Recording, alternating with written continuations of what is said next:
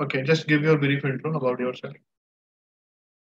Sir, my name is Rahul Ranjan. I completed my class 10 from San Francisco City in 2014 and my percentage was 85. Then I completed my 12th from Patna Danapur Park Mount School and my percentage was 82 and then my I completed my BTech in 20, 2021 from Heritage Institute of Technology Kolkata with 7.68 CGPA. This year my gate score was uh, gate score. This year my mechanical rank was 1572. 157.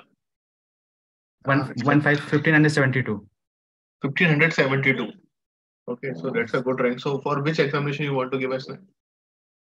Sir, uh, for Institute of Plasma Research. Institute of Plasma Research. Okay. So what uh, uh, uh, for which post? Sir, scientific officer. So which subject you like most? Uh, sir, I am here to give a snap interview of strength of material. Strength of material. Okay. So just tell me uh, what are the basic assumption of a bending question? What are the basic assum- assumption of Bending question. bending question, sir? And in the cross section area is assumed to be does not vary, and sir, um, it, is assumed that it is of pure bending. There is no shear, shear force, and also the cross and the cross section area so in actual bending the cross section area changes, but we assume that the cross cross section area remains the same. Mhm. and uh, these are the two assumptions. What do you mean by homogeneous isotropic? There is a one assumption that is called a, a material should be a homogeneous and isotropic. What is the meaning of that? The material is, should be homogeneous and isotropic. Sir, in homogeneous, the material is said to be homogeneous if the property uh, remain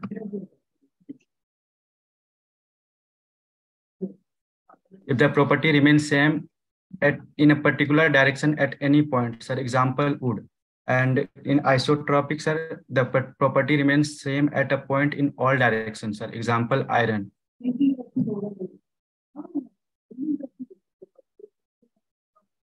Okay. What what do you mean by Hooke's law?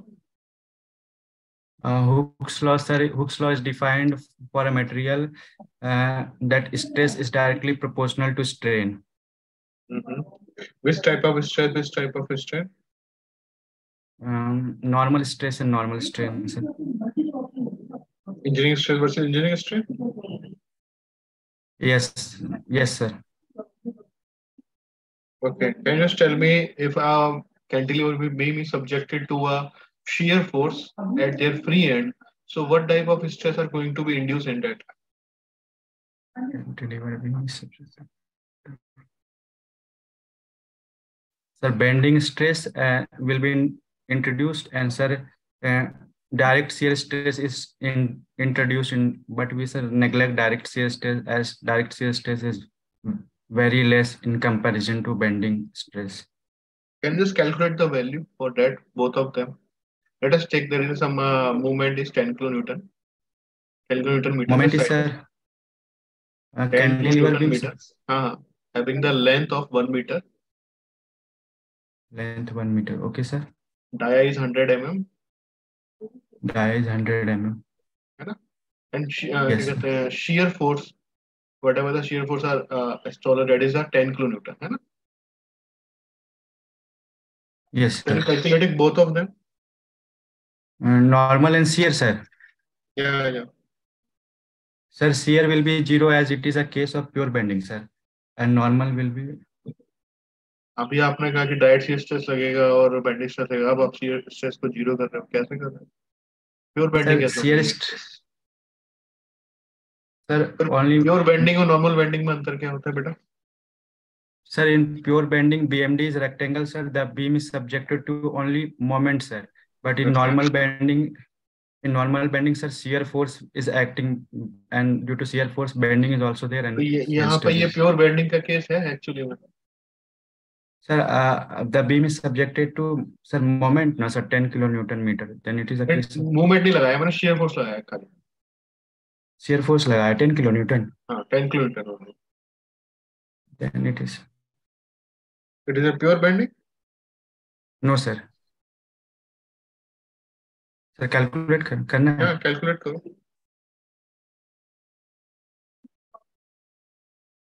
sir average shear stress will be 127.32 megapascal and maximum shear stress will be 169.76 megapascal C S test कितना है sir average shear stress is 127.32 megapascal and 127 maximum shear Mhm. and maximum shear stress is 169.76 megapascal Okay, what is the bending stress in that case? bending stress sir आया 10.1859 into 10.4 megapascal. कितना difference आ रहा है?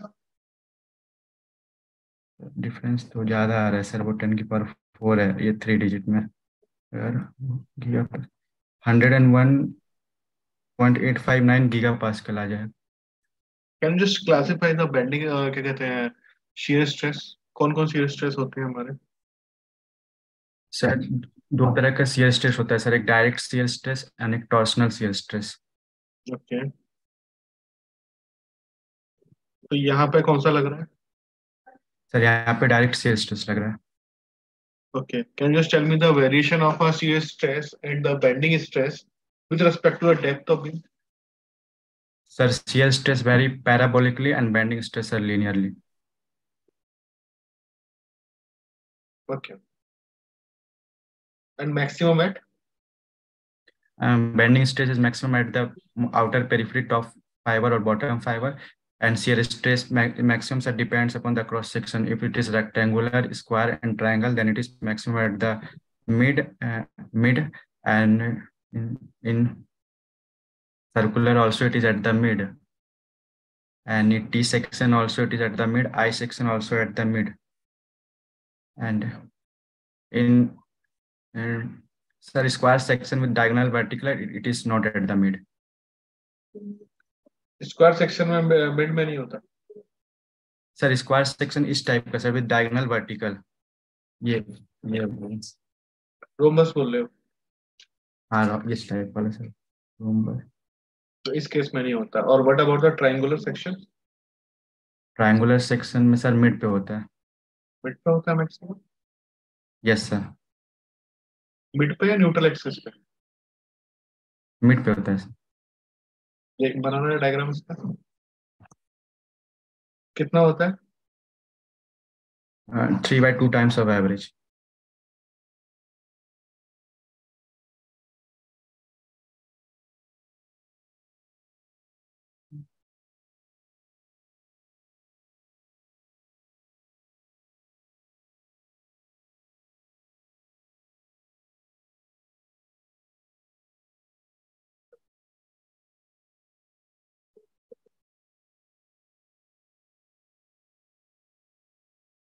please.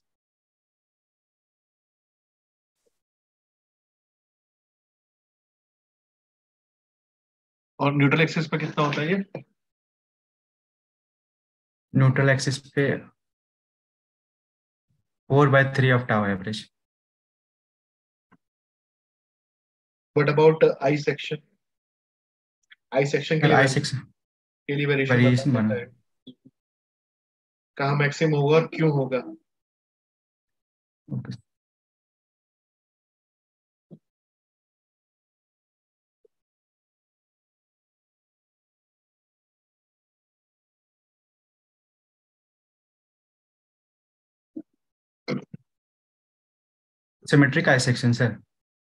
हाँ issue नहीं होगा. Sir, symmetric.